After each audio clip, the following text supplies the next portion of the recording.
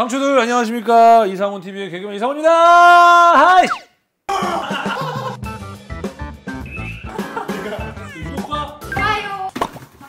자 오늘 보여드릴 피규어 일단은 영화가 개봉을 합니다. 존 윅 3 파라벨룸이 개봉을 하는데 그래서 또 때마침 준비했습니다.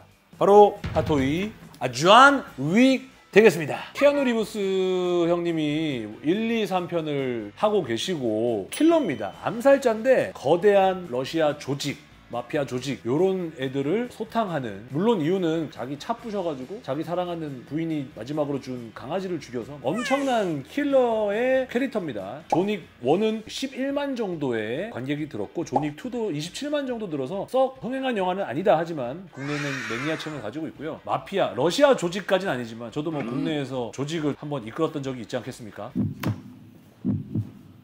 맞구나. 이상훈이 야 너는 왜 왔어? 안 불렀잖아. 이놈이 여기서 유튜브를 찍는다 그래서 여기 숨어 있었지? 상추들? 아니 깻잎들!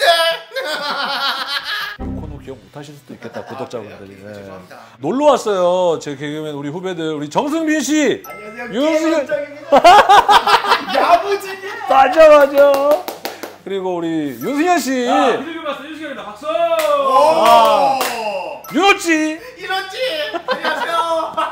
상추들 깻잎들 고기 뷔페. 네. 돌아가 코너 원래 했었잖아요 그쵸? 맞습니다. 어, 우리 또 같은 멤버들이었고 식구들이고. 돌아가 어떤 코너인지 모르시겠다고요? 요러고 여기! 요거! 네, 요 코너 오 그래 재밌었어 이거. 네, 유행어가 있었잖아요. 돌아가.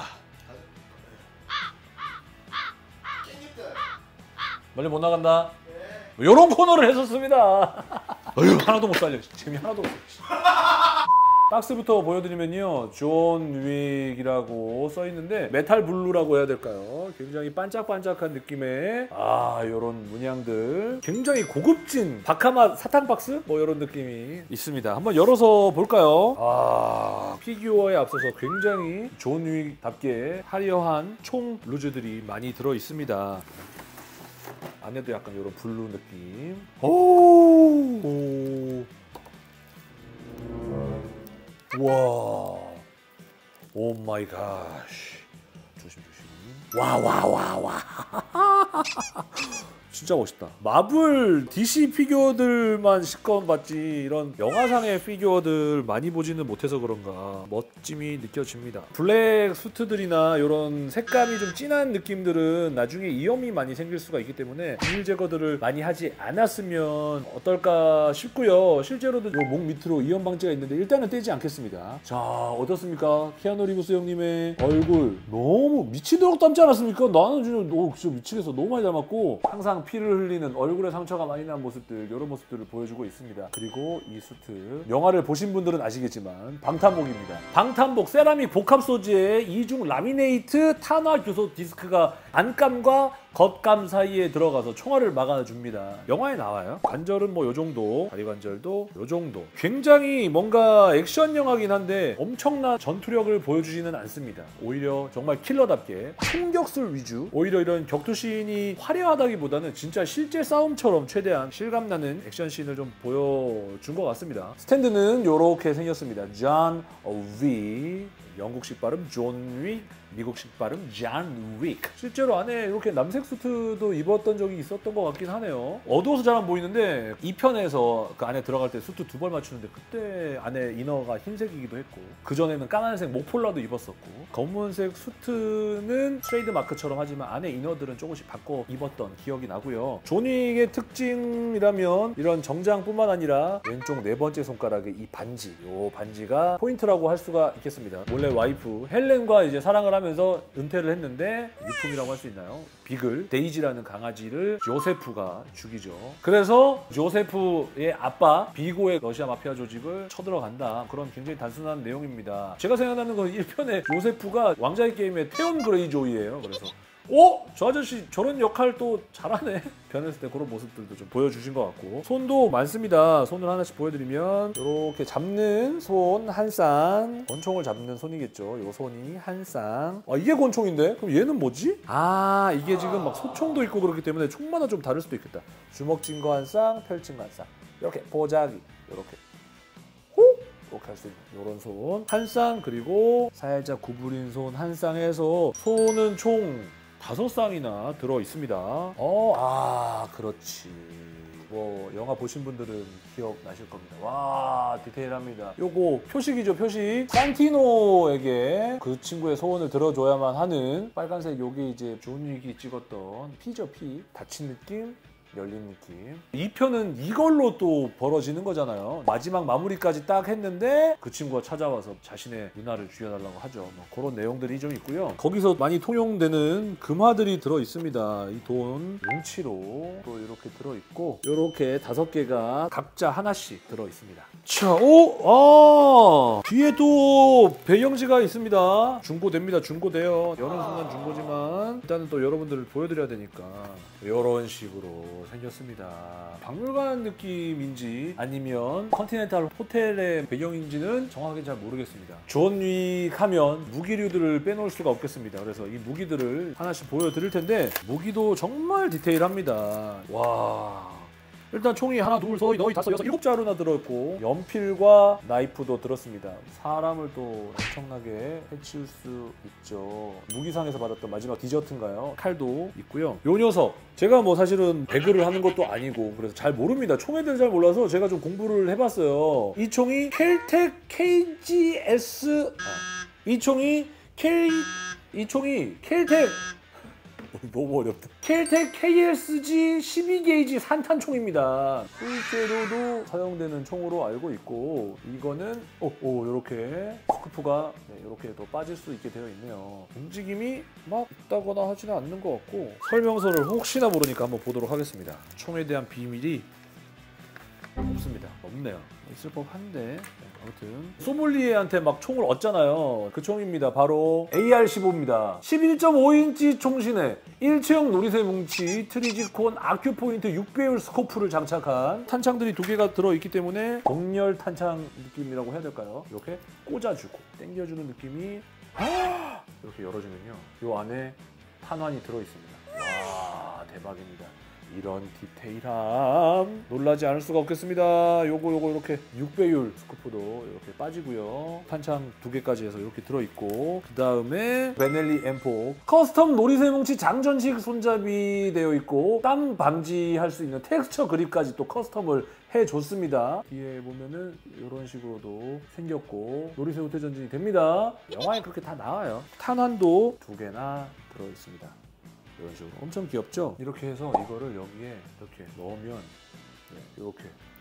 와. 이렇게 놓고 닫아줄 수도 있게 되어 있어요. 그러고도 아직 권총도 4자루나 남았는데 글록 34입니다. 당연히 이거 글록은 또 이런 느낌. 아 너무 어렵다. 내가 써왔는데 다 못 외워서. 빠른 재장전을 위한 flared magwell 옵션이 들어있는 글록 33입니다. 약간 연장되는 탄창, 총알을 더 많이 들기 위해서 최소 10발은 들었겠죠? 요 녀석, 요 녀석은 글록 34보다는 작죠? 글록 26 되겠습니다. 이 녀석도 뒤로 마찬가지로 젖혀지고 탄창을 또 이렇게 낄 수가 있게 되어 있습니다. 글록 34와 글록 26 그리고 원래 존윅이 많이 사용했던 기본 총이 이겁니다. 헤클러 앤 코우사에서 만든 P30L입니다. custom compensator까지 여기 들어가 있습니다. 반동을 줄이기 위한 요거까지 들어가 있고 네, 이렇게 되어 있습니다. 탄창도 다 다르게 생기고 항상 말씀드리지만 굉장히 디테일하다. 요거 기억나실지 모르겠습니다. 존 윅이 크게 그 2편에서 위기를 겪고 킹한테 내려달라고 하죠. 노숙자로 분장한 킬러한테. 그래서 바우어리 킹한테 가서 이렇게 받은 총입니다. 이렇게 또 네, 굉장히 이렇게 해서 딱 잠금 장치까지 되어 있고요. 이렇게 열어서 하면 이렇게 탄창도 예쁘게 들어있고 이 총은 킴버 1911의 7발들이 탄창이 들은 탄환은 45 ACP 탄환을 썼어요. 아우 뭐 이렇게 어려워. 이렇게 탄창에 탄이 7발밖에 안 들어가잖아요. 원래는 P30L이나 글록 같은 총을 써서 10발 이상 들어가는 동열 탄창식 이런 것들을 좀 썼다면 얘는 7발들이 탄창이에요. 그래서 이렇게 하면 14발일 텐데 킹이 얘는 안 주고 7발짜리 하나만 주죠. 이거 가지고 들어갔는데 정확하게 한 발도 오차 없이 7명을 어, 뭐, 뭐, 여기까지 뒤로 물러나는 이런 느낌도 장전도 잘 되는 그런 느낌입니다. 거리까지 이렇게 되어 있네요. 이게 설마 이거도 되나? 와 씨. 이거 뒤에 이거까지는 난 처음 본 것 같은데. 이렇게 와 이런 디테일함. 예전에 이런 권총들 하나씩 보여드렸었는데 레드샷 이후로 이렇게 많은 총을 보여드린 거는 또 처음인 것 같아요. 이거 이제 그러면 한번 껴보는 느낌을 좀 가져야 될 텐데. 그냥 권총을 이렇게 안 들고 꼭 막 이렇게 막 이렇게 들었어 막 이렇게. 그런 것들을 제가 posing을 할 수 있을지. 아 많이 늘었어. 느낌 그렇죠? 원래는 뭐 조금 더 꺾기도 하는데 얘가 약간 더 더 꺾어 더. 그치 그치. 거의 이런 느낌으로 그쵸? 거의 총을 막 이런 식으로 쏩니다. 멋있어 우리 리부스 형님. 이런 느낌. 오 나 잘 만들었어. 어, 만족합니다. 원래는 여기에 막 무기 가방 처음에 메고 출발하기도 하고 그랬었는데 권총들은 다 비슷하니까 뭐 따로 다 보여드리진 않을게요. 이런 느낌의 조닉 너무 멋있습니다. 아, 이거 뭐 칼 차는 데 없나? 원래 칼도 차는데? 칼 차는 건 없나 보다 아 그리고 개인적으로는 이 수트를 다 벗기면 과연 등 쪽에 문신 있잖아요. 그 문신이 있는지도 사실 좀 궁금합니다. 그것까지는 여러분의 궁금증으로 남기도록 하겠습니다. 절대 수트가 망가지는 게 아까워서 아쉬워서 그러는 거 아, 아닙니다. 오 멋있어 나 잘했어. 상아 잘했다. 살짝 이런 느낌으로 두고요. 리뷰가 끝난 것 같은데 왜 또 자리를 정리를 하느냐? 바로 또 엄청난 녀석을 가지고 왔기 때문입니다. 바로 요요요요 요 요 요 요 녀석입니다.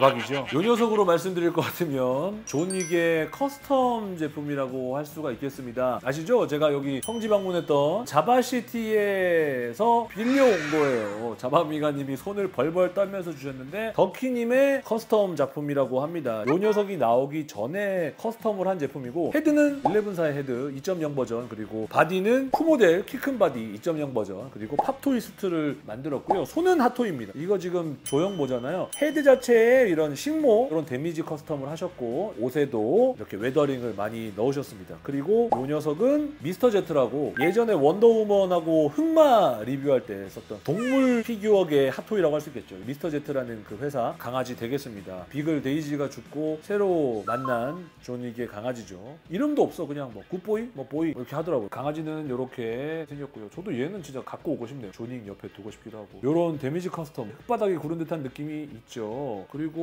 실제로 이런 총도 AR15랑 좀 비슷하게 생기는데 요 총까지는 제가 공부를 못했는데 이렇게 총도 이렇게 가지고 계시고요. 이런 식으로 와 여기도 진짜 11사 헤드 조형에 피칠갑 damage custom도 하셨고 특히 머리 자체가 예술입니다. 사실 이렇게 예쁘게 넘기기도 하지만 항상 싸우고 나면 이렇게 머리가 앞으로 몇 가닥 떨어져 있잖아요. 이런 것들도 표현이 굉장히 잘 되어 있죠. 이 머리를 심었다라는 거, 땀에 많이 젖은 듯한 이런 느낌들을 표현을 해줘서 굉장히 멋있고 까만색 수트에 흰색 와이셔츠를 입고 있네요. 이런 느낌이랑 보면 옷 자체가 굉장히 많이 좀 지저분해진 느낌, weathering이 된 느낌도 나고 헤어를 비교를 한번 해보고 싶었습니다. 결 자체가 막 쓰러지거나 그러면 안 되기 때문에 택배로도 안 받고 이걸 직접 조심히 싣고 와주셔가지고 리뷰를 하게 되었고요. 어, 실제로 비교해놓고 보니까 얼굴이 많이 다릅니다, 그렇죠? 수염 자체가 훨씬 더 진한 느낌이 좀 있고 여기는 좀 더 젊어 보이고 살쪄 보이는 느낌이라고 해야 될까요? 출발할 때쯤에 이런 느낌이고 마지막 싸움의 그런 느낌이라고 할 수가 있겠네요. 제가 요거를 아예 헤드 자체는 손도 못 대겠습니다. 혹시나 상할까봐 관절도 사실 테스트하는 의미는 없는 것 같고 전시할 때 배경지도 없고 박스 아트도 없기 때문에 어떻게 전시를 하시느냐 존윅의 블루레이를 1, 2 reload까지 해서 갖다 놓고 전시를 하신다고 하더라고요. 자 이렇게 해서 오늘 핫토이 존윅 custom 존윅까지 한번 만나봤습니다. custom 하는 데는 비용도 뭐 굉장히 좀 많이 들긴 하지만 하고 났을 때 만족감은 굉장히 있으실 것 같고요. 순정만을 모으시는 분들도 존윅은 굉장히 훌륭한 피규어가 되지 않을까라는 생각을 해봅니다. 존윅 reload 포스터 보면은 총 막 이렇게 돼 있잖아요. 앞에다가 총만 쫙 전시해도 훌륭한 장식이 되지 않을까 싶습니다. 저는 다음 시간에 또 재밌는 컨텐츠로 찾아오도록 하겠습니다. 여러분 다음 시간에 다시 만나요. 안녕. 구독과 좋아요는 좀 해주세요.